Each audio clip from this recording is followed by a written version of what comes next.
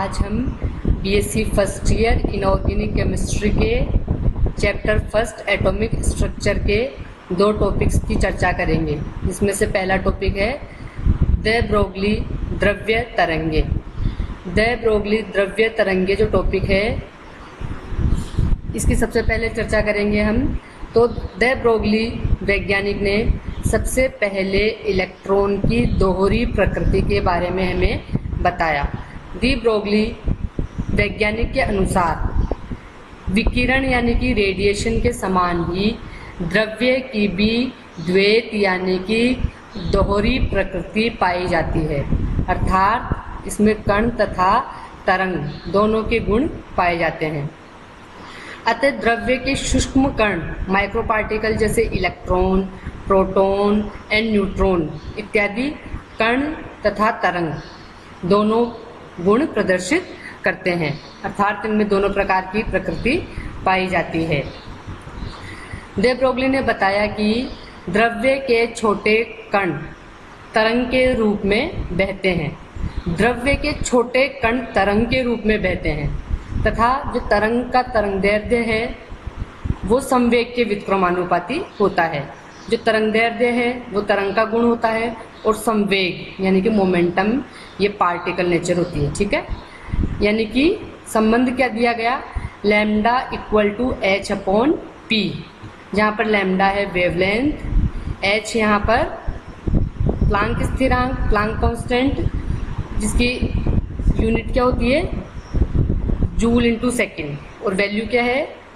Six point six two into ten to the power minus thirty four और unit है joule into second ठीक है? और momentum जो है मास और वेलोसिटी का मल्टीपल हो गया, ठीक है? जहाँ एम कण का द्रव्यमान हो गया और वी आपके पार्टिकल की वेलोसिटी हो जाएगी। अब इस संबंध की जो व्युत्पत्ति है ना, वो किस प्रकार से हुई? ठीक है, यानी कि डेरिवेशन कैसे आया?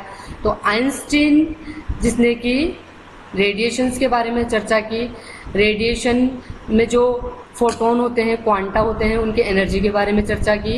यानी कि किसी भी फोटोन या क्वांटा की जो एनर्जी है और उसके वेलोसिटी में संबंध है। यानी कि क्वांटा या फोटोन की energy equal to M C square जहाँ एम मास हो गया और सी वेलोसिटी ठीक है? अब प्लांक ने क्या बताया कि E equal to H nu energy और फ्रिक्वेंसी में रिलेशन बताया। अब इन दोनों इक्वेशंस को हम, ठीक है, बराबर रख लेंगे, क्योंकि दोनों ही एनर्जी के वैल्यूज़ हैं तो M C square equal to H nu अब हम जानते हैं कि न्यू फ्रिक्वेंसी की वैल्यू क्या होती है? सी अपॉन लैम्डा ठीक है? अब समीकरण दो का मान समीकरण एक में रखेंगे, ठीक है?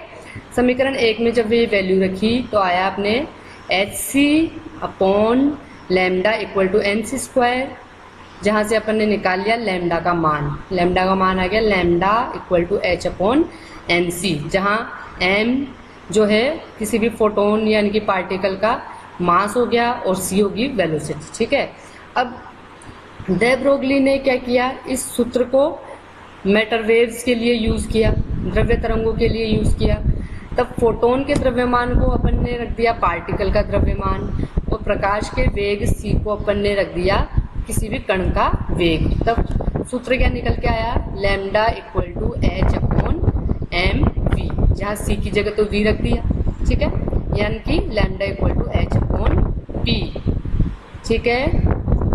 यानी कि समीकरण चार ही दी ब्रोगली का सूत्र कहलाता है। तो समीकरण चार से हमें क्या पता चलता है? कि द्रव्यमान और संवेग, ये तो कणीय गुण हो गए और तरंग दैर्घ्य जो है, वो तरंग का गुण हो गया। यानी कि समीकरण चार जो है, यानी कि द्विब्रोगली सूत्र से हमें तरंग और संवेग, दोनों ही जो है इलेक्ट्रॉन की दोहरी प्रकृति को बताते हैं। जो तरंगीय गुण है, वो तरंग दैर्ध्य से पता चल गया और जो कणीय गुण है, वो हमें मोमेंटम से पता चल गया, ठीक है? अब इस प्रकार से ये समीकरण जो है, वो द ब्रोगली समीकरण कहलाता है और ये किसी भी वस्तु के कणीय और तरंगीय गुणों के मध्य संबंध को स्थापित करता है, ठीक है? यानी कि किसी भी मैटर में तरंग का गुण जितना